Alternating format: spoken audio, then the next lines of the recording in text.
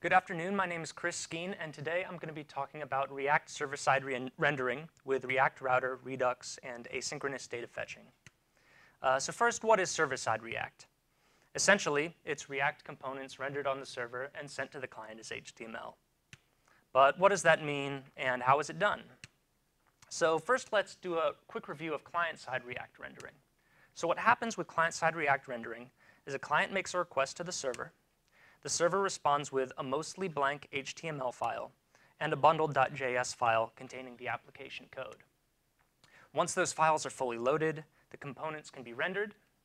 Uh, at this time, you'll have optional async data fetching, usually in your component did mount lifecycle event. And at that point, the user can view the loaded data and interact with the application. With server-side rendering, a client makes a request to the server, the server renders components into HTML and responds with an HTML file containing both the rendered components and an initial store state if you're using Redux. Um, and it also responds with your bundle.js file containing the application code.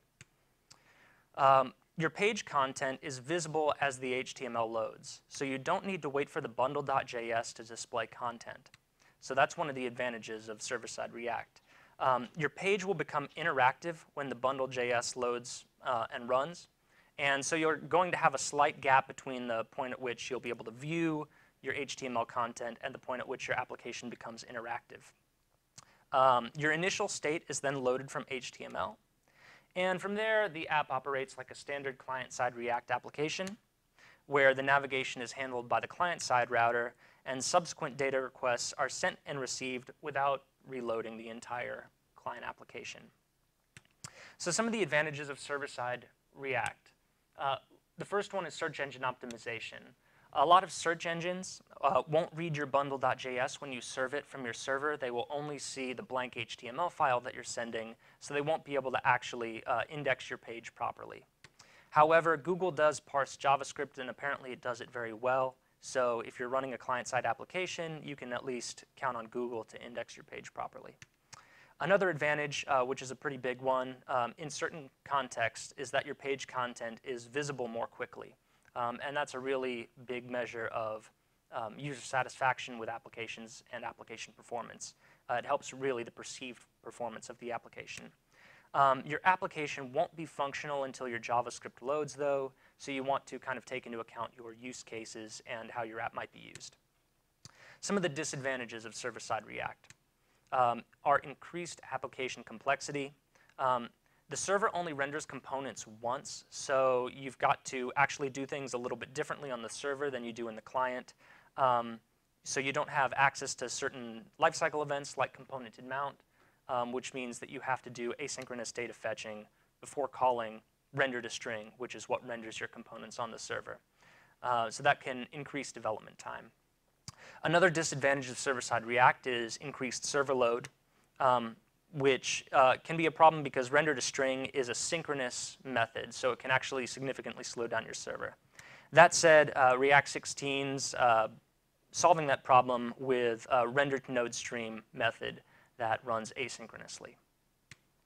So right now what I want to do is a little live demo of a server-side React application and do some code walkthroughs to show you how to implement the application.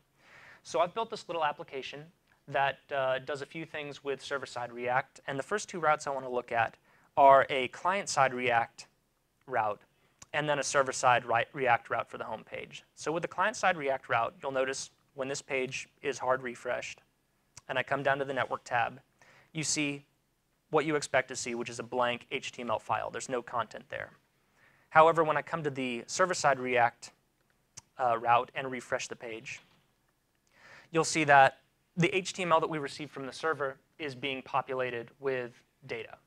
And this data includes, most importantly for search engine optimization, uh, it contains the text that you're uh, seeing on the page. So the server, um, so uh, the search engine can read the information that's coming from your server, which is a big advantage. Uh, another advantage, I'm going to turn on throttling here, so we'll go to fast 3G, and I'm going to hard refresh this page. You'll notice that the, uh, with server-side React rendering, the page is visible right away, even as our bundled uh, JS file continues to load. That's not the case with our client-side React.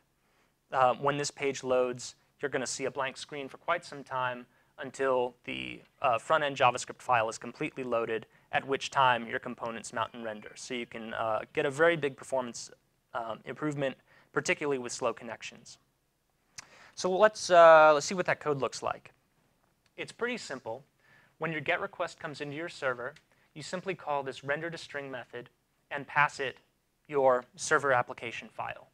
Um, you then set that equal to a variable, and all you do is you pass that variable into your HTML file and just insert this HTML as, as text into your HTML file and send it back to the client. So kind of the basic implementation of server-side React is pretty simple. Let's take a look at routing next. So one of the nice things about server-side React, and I'm going to do a hard refresh on our server-side React homepage, is that our information comes down from the server um, with our HTML filled out. But once we go to additional pages, uh, we don't make additional server requests. So you still capture the benefits of having client-side rendering um, when you're using server-side React.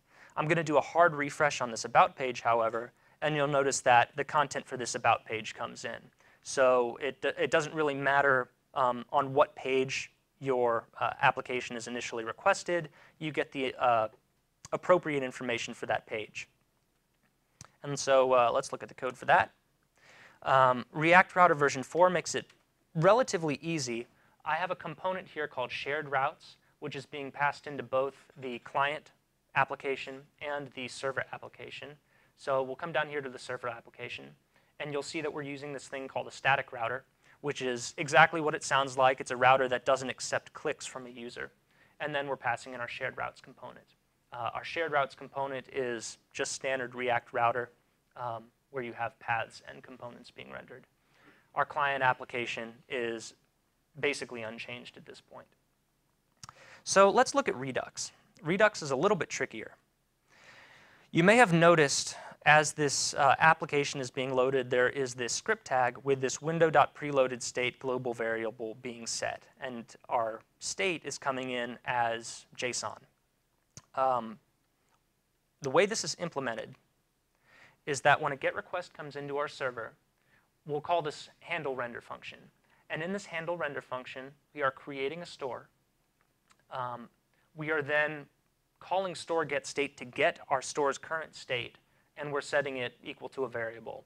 Um, we're calling render to string, as we always have before, except this time we're wrapping our component in a provider tag and passing in the store. That's standard Redux still, and this is, this is what's happening on the server.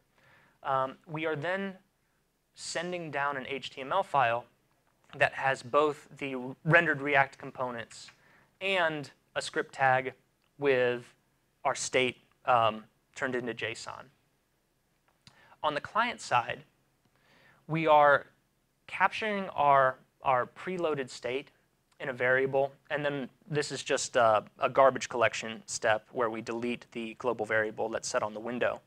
And then we create our store and we pass in the preloaded state that we grabbed off of window.preloaded state. So when we create our store on the client side, um, we, are, we actually have an initial state that exists right when the um, application begins uh, to function. So what that looks like, and I'm going to come over here to this uh, server-side React state tab and refresh the page. You'll notice again, we've got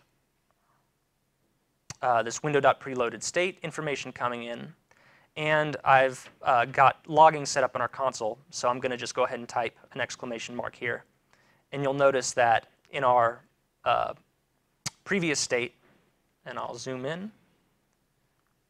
We have the first state of our application being this is the default state, and then the next state being this is the default state with an exclamation point. Uh, the final thing I want to talk about real quick is asynchronous data fetching. This is where React server-side gets much more complicated. Here's a really simple example, uh, and you may want to reorganize this if, uh, if you're actually implementing this in a true app. But when our request comes into our server, we call this uh, function called async fetch. And what this does is we create our store, um, and then we're checking the route uh, on, our, on our request. And if it matches any particular route that we're looking for, we want to go and dispatch our asynchronous um, Redux thunk. And at that point, once that thunk has returned with information, we then call handle render, which passes in our store and our uh, rendered React component to our HTML. Um, one other thing that you can do on the client side is uh, you uh, want to um, not refetch that data if you're uh, if you already have information. Um, and uh, you want to fetch that data if it doesn't exist. And so let me give you a little uh, demo of what that what I'm talking about here.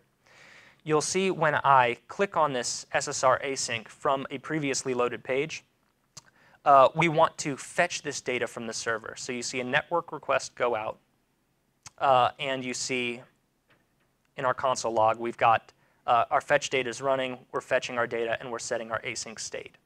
Um, if we refresh on this page, we've got our existing state detected, and it's not refreshing data because we actually don't need to make that request since the information is already coming down from our asynchronous uh, request right there. So that's an overview of React server-side rendering. Um, hope you enjoyed it, and thanks so much for listening.